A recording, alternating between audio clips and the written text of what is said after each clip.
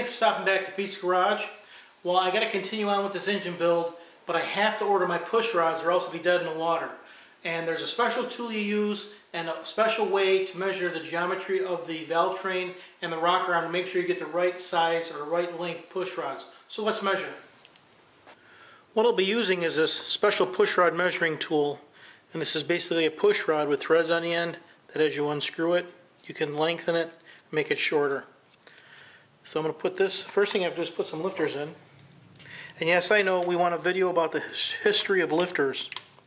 I'm working on that. It's not as easy as you think. So now remembering, I have my cylinder one is on top dead center, so I know my valve will be shut here. And I'm going to put the adjustable part of this tool in first. That just makes it easier to adjust on inside. And I'll set a rocker arm on here.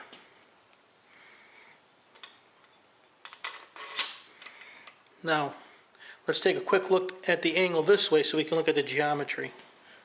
The first thing to notice here, first is you can see how the push rod comes in where it meets the rocker arm here.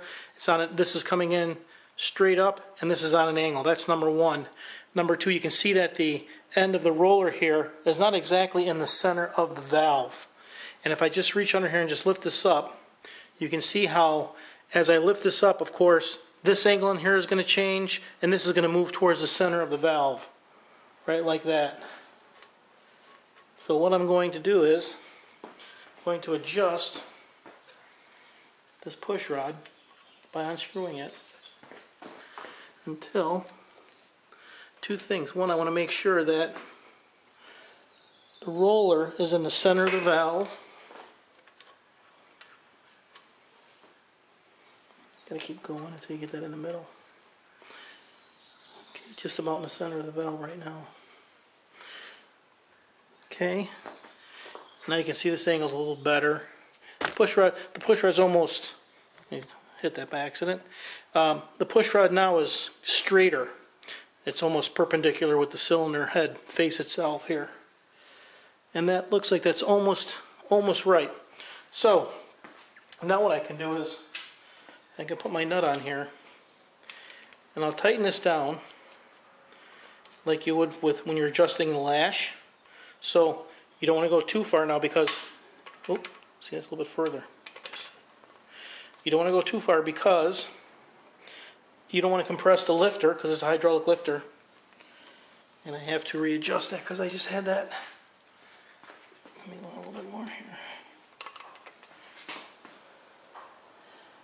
Okay, that roller, roller's just about in the middle of the lifter there. So I'm gonna, I got it tight. And, need a wrench here Of course. I'm never going to make the Olympic wrench guessing team. I'm to put one half a turn on it. Just to make sure I got some pressure on there. So, now what I can do is turn the engine over a few times, open and close this valve, and make sure that the roller is riding on the center of the valve. Okay, let's turn this over a couple times. Get the valve open. Close.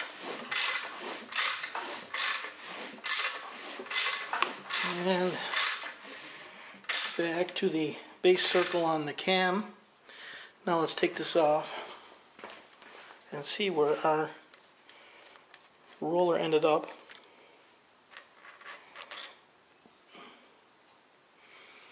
And looks like the roller was right on the center.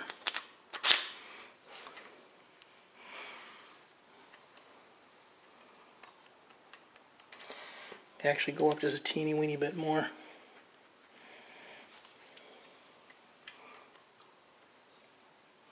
Now these should be standard sizes. I'm not going to have to have custom push rods made. So what we're trying to do is here get really close, like within, within uh, let's say 50, 60 thousandths. It's not going to be huge off. There's only so many sizes available. So, okay, let me put this on here Put a half a turn on that. Turn it over again to make sure that that rocker sitting right on a valve.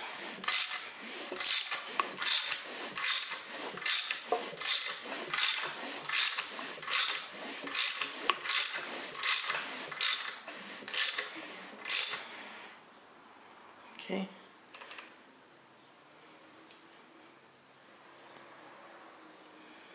Right there. That seems like it's about right. Let's take another look.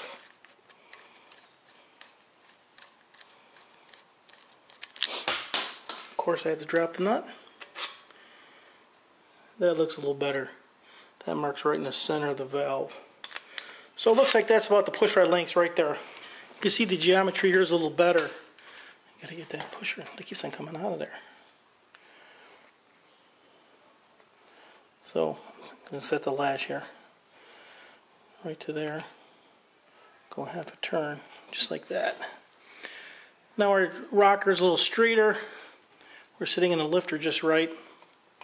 We're in the ball end is in the rocker arm, and the ball is ball's riding right in the center. So that should be a good length right there. Now if I just pull this out very slowly and measure. Now I know most of you are not going to have an 8 inch or 12 inch set of calipers. You're going to have just a standard 6 inch. So we're going to do this old school and use a ruler. And for those of you who do not know how to use a ruler, you may not want to be building engines. Now if I set this right on the edge here, it looks like this push rod is going to measure 7 and 1 8 which is a standard size. So it works out just about perfect. Okay, so I took the push rod and measured it with calipers. Even though it was 7 and 8 on a ruler, push rods only come in length of 7.1, 7.2, 7.3. I can't get a 7.125 push rod.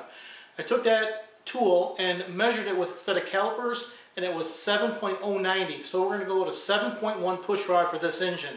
If you're doing this yourself, if you need one of those tools, you can buy them from Summit. They're not that expensive. Or you can probably maybe even rent one from AutoZone. If your AutoZone has it, you might be able to get from them and use it cheap. So I'm going to order my push rods. We'll get this thing together and get it running. Thanks for stopping by Pete's Garage.